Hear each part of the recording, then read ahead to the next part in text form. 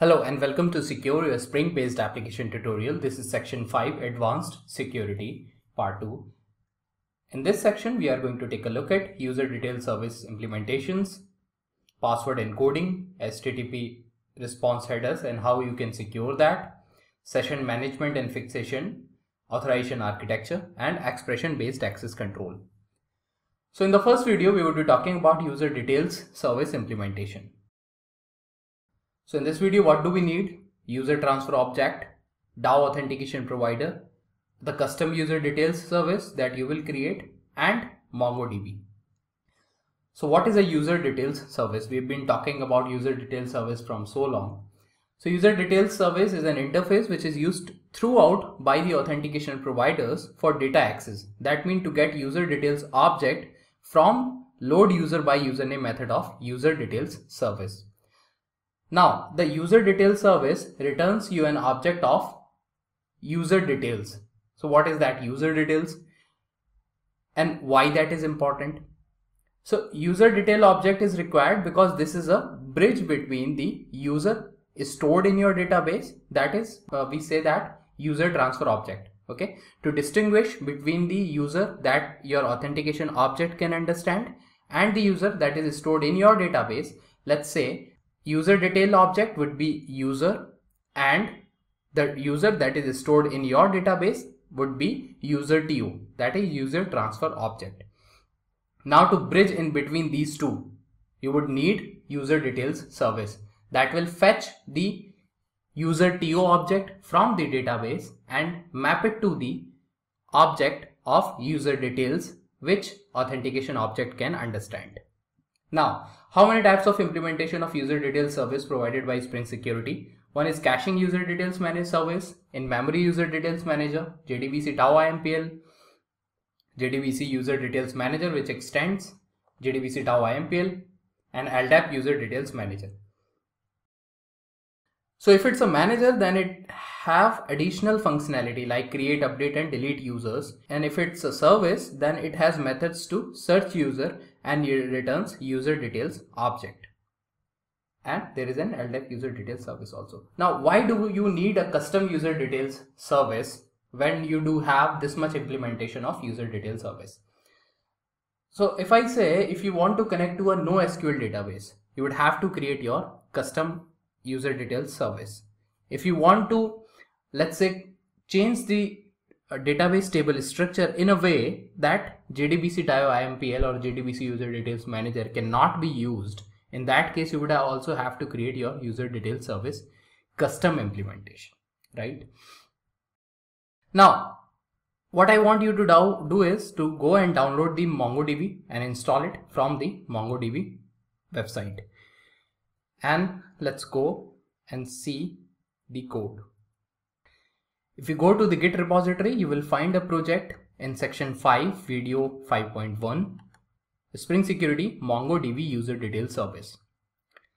So let's go and open up the security config.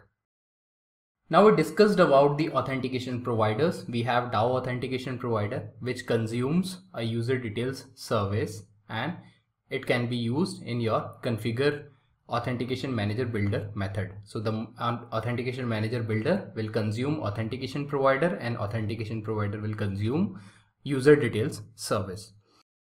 In here we are using authentication manager builder and authentication provider. We are using DAO authentication provider which is actually consuming the custom user details service implementation. Now let's see what we did in the custom user detail service implementation. So we would have to implement user detail service first of all. This way we are creating the MongoDB configuration where your database is residing, what is the port, what is the database that you want to connect to. This is just for the demo purpose. You would have, you should take it to the root config and externalize the properties into the property file that we used to do in JDBC connections. Now the host is for 127 that is loopback address, the default port and the default data database that we are using here. This is related to MongoDB. If you are new to MongoDB, you can go and learn about these things we are using the server address and we are creating a Mongo client object and Mongo client object is consumed by Mongo template. That's it. Now in the user details, which is actually we are looking at load user by username. So this has to be an implementation where it is fetching the user TO from the database and mapping it to the user details object, right? So we have a method get users get user TO detail. So that is our transfer object. So let's see what a transfer object looks like. Is It is just a POJO or a bean which is having the value username password and is it enabled or not and the getter status along with the constructor. That's it. So that's how we are representing how our user is stored in a database. Now how you are going to fetch it. So let's go to this method. And in this method, we are creating Mongo operations object, which is nothing but just a Mongo template object. And with this operation object, we are querying using find one.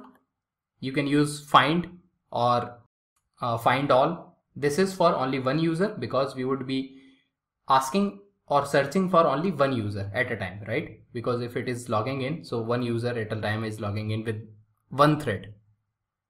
There could be several, multiple requests. One in a thread, there would be only one object that is coming in right? So find one and you would have to write new query criteria where username is username and you would have to specify which class represent your user TO, right? So that's how we represented it. It will return a user TO you object and over here this is returned into the user TO you object.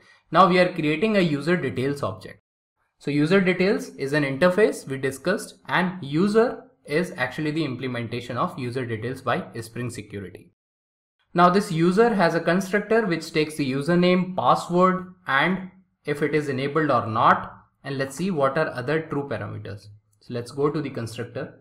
So it it actually checks username, password, is it enabled, account is expired, credential expired, account logged and the collection of authorities. That's what it needs. So we would have to provide it in the same way. So for now we are providing the separate parameter true everywhere and the authorities we are creating as a list. You can add your own business logic in here. We are just creating the list and using simple granted authority providing the role user and role admin. Okay, now the user details object has been created. We would return this user details object. That's it. So we all we had to do was to implement load users by username method in a way that it reads the object user to object from the database and map it to the user details object that is user. Now it would be consumed by DAO authentication provider and everything will be working. Okay, so if you are new to MongoDB, we have created, if you go to the src test Java and we have created a class. This is just a class which is actually having the main method. So if you run this class as a Java application, this will connect to the MongoDB all you have to do is to install, download and install MongoDB and start the services. The instruction you will find on the GitHub. Now, if you run this class as an uh, Java application, it will connect to the database onto the default IP port and the default database local. It will create two users for you, Anki daemon password and test and test.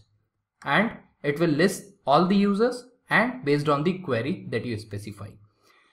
Now, if you want to run the whole project, you would have to run it as a on the server, not on as a Java application. This class is to be run execute as Java application. Now I have this application already started. Now let's log in into the MongoDB with the custom user details service. Anki daemon password and we are successfully logged in. Let's see how does that look like into our MongoDB. So this is how you can connect to it. Once you start the mongo.exe, you would have to connect using use local and then you can run db.userto.find and you would have these two objects like username, agreement, username test and password. That's it. Another thing is if you want to skip Spring Security filter chain on a particular resource. How can you do that? You can do using this configure method, web security method. We actually discussed in section 2 that this method should not be overridden unless you want to do some tinkering with the Spring Security filter chain. So that's where it comes in. If you want to ignore the Spring Security filter chain for a particular request, you can use web.ignoring and the request matcher specify what kind of request you want to ignore for from Spring Security filter chain.